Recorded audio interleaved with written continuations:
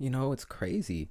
They got us fighting over a wall, almost had us fighting about modern day lynchings around Black History Month, right? I mean, celebrity level agents artificially inflaming rhetoric by fabricating these scenarios with potentially dangerous or fatal outcomes. I mean, the consequences of these things, who knows, right? You're throwing fuel um, on the race fire, okay? But you have to understand that these agendas also transcend, you know, strictly political optics. The root of this stuff is buried in something much more deep, okay? Something much more nefarious, much more sinister, all right? And I know there's a stigma for listening to these kinds of uh, narratives, right? Listening to these kind of alternative narratives. But there's nothing wrong with being a better informed citizen. Uh, there's nothing wrong with it. You know, don't let them create your arguments for you. Don't let them infiltrate and warp your perceptions. I think a lot of times that's what we see here. You shouldn't allow them to successfully get you to think a certain way. Uh, you shouldn't allow them to successfully infiltrate your perceptions about certain people and define a narrative for you. We're pushing their agendas forward by leaps and bounds when we don't scrutinize information and when we openly embrace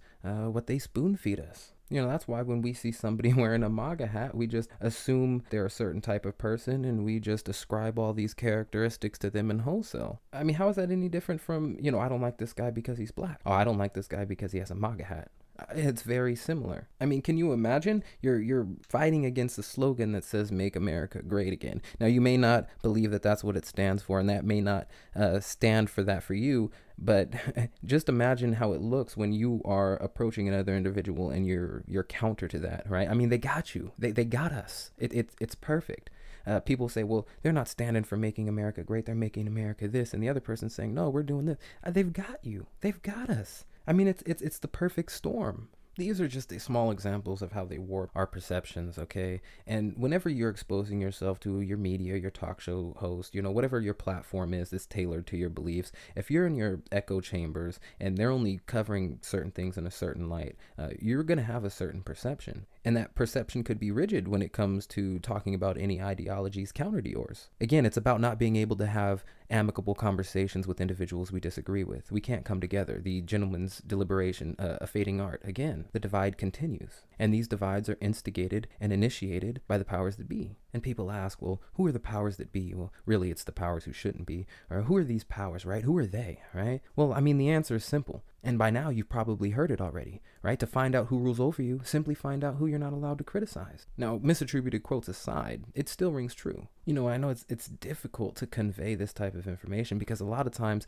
this stuff can't be conveyed in one conversation. You can't articulate or express some of these more complex topics in just a few minutes, right? It, it takes a little bit of time and it takes effort. You know, one of the major goals of this channel is to trigger stimulating conversation, widen the angle of people's perspective and of course, give truth to those who have the eyes to see and the ears to hear, most importantly. And again, like I was saying, uh, it's increasingly more difficult to have uh, amicable conversations because if you say uh, anything in the realm that seems like you're highlighting or praising some of Trump's actions, you're condemned by the NPCs, right? The non player characters.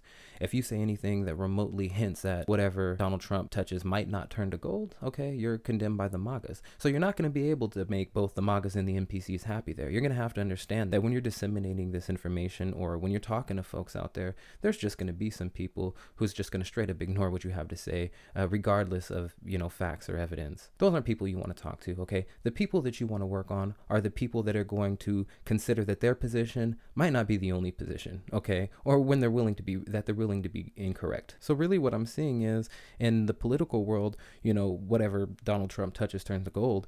Uh, you can't criticize anything without looking like you're a liberal or you know you're just you're part of the Trump hate bandwagon.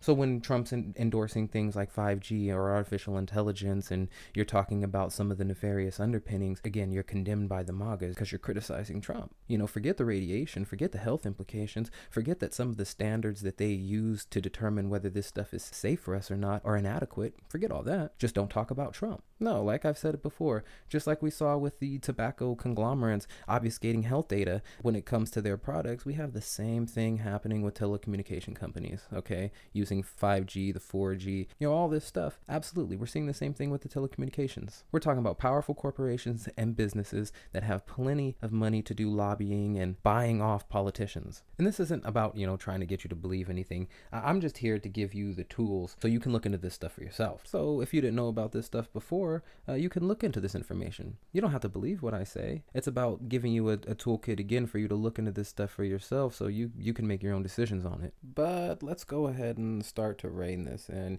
You know, thanks for being here. You, you could have been anywhere else.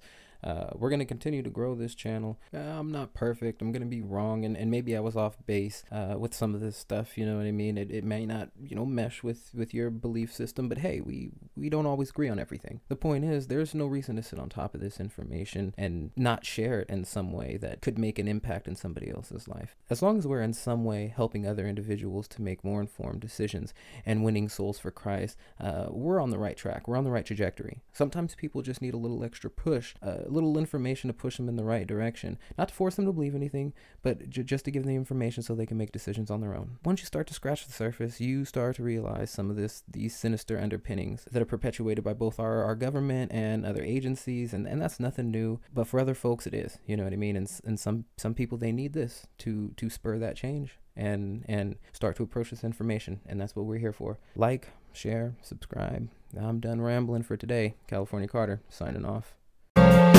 Música